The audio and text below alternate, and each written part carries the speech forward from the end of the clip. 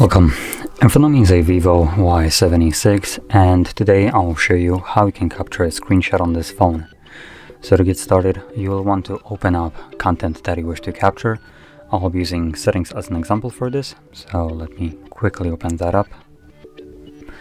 And once your content is open and visible, you want to hold power key and volume down at the same time. You'll have a sound. Now the first time around it also lets you know that it can capture your screenshot quickly using three finger swipe down, which I'll showcase in a second. So, let's try it again.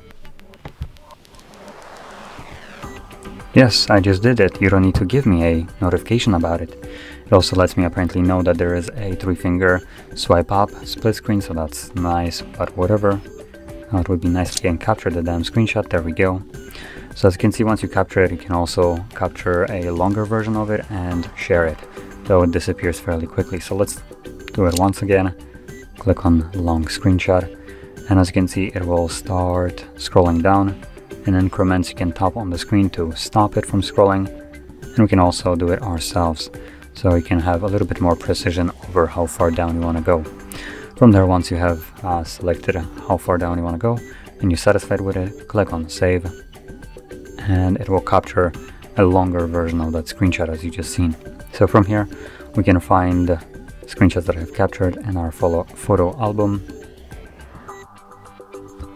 Enter album and from here you want to obviously select the album category, which now contains screenshot album, and then here you'll find all your screenshots. So here we have the scrollable one, and then the two normal one. So there we go, that is how you can capture a screenshot on this phone.